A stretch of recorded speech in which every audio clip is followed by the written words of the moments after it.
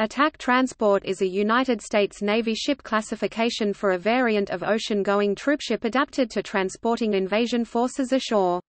Unlike standard troopships, often drafted from the merchant fleet, that rely on either a quay or tenders, attack transports carry their own fleet of landing craft. They are not to be confused with landing ships, which beach themselves to bring their troops directly ashore, or their general British equivalent, the landing ship, infantry. A total of 388 APA troop and AKA cargo attack transports were built for service in World War II in at least 15 classes. Depending on class they were armed with one or two 5-inch guns and a variety of 40 mm and 20 mm anti-aircraft weapons.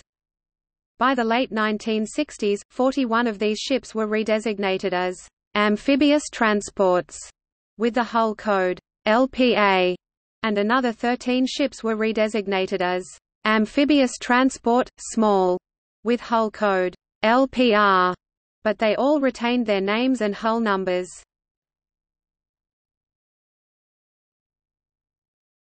Topic: Classification In the early 1940s, as the United States Navy expanded in response to the threat of involvement in World War II, a number of civilian passenger ships and some freighters were acquired, converted to transports and given hull numbers in the AP series. Some of these were outfitted with heavy boat davits and other arrangements to enable them to handle landing craft for amphibious assault operations. In 1942, when the AP number series had already extended beyond 100, it was decided that these amphibious warfare ships really constituted a separate category of warship from conventional transports. Therefore, the new classification of attack transport APA was created and numbers assigned to 58 APs AP-S2, 8 to 12, 14 to 18, 25 to 27, 30, 34 to 35, 37 to 40, 48 to 52, 55 to 60, 64 to 65 and 78 to 101 then in commission or under construction. The actual reclassification of these ships was not implemented until February 1943, by which time two ships that had APA numbers assigned USS Joseph Hughes and USS Edward Rutledge had been lost.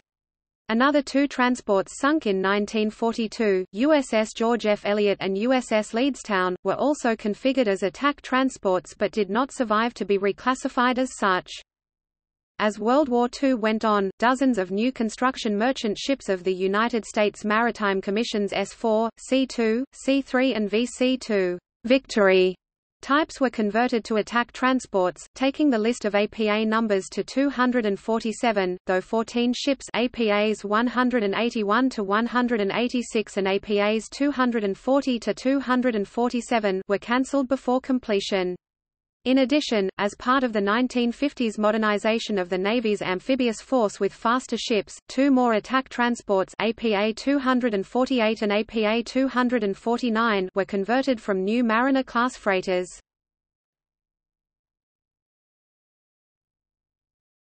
Topic: Classes.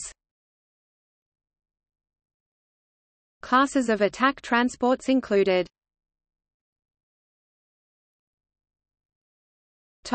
In use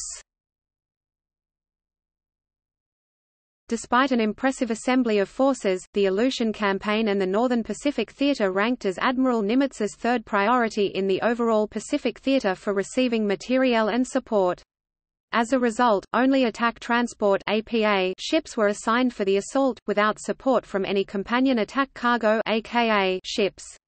This created extreme logistics burdens for the invasion force because it resulted in considerable overloading of the transports with both men and equipment.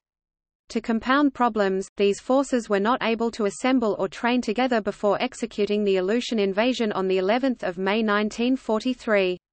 Lack of equipment and training subsequently resulted in confusion during the landings on Attu.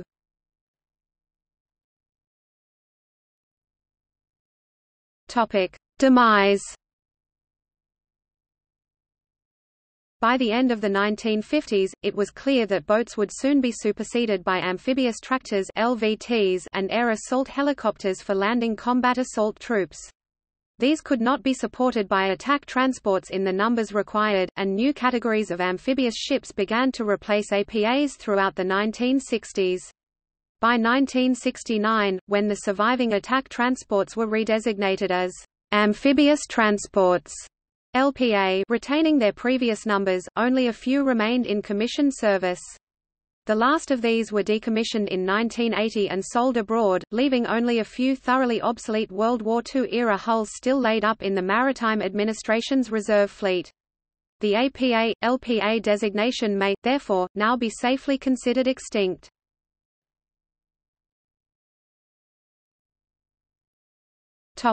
In fiction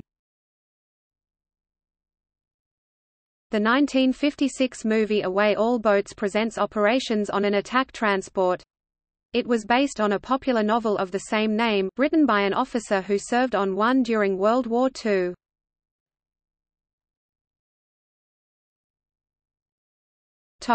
See also Amphibious cargo ship AKA LKA Nearly identical ships used to transport vehicles, supplies and landing craft. Landing ship infantry large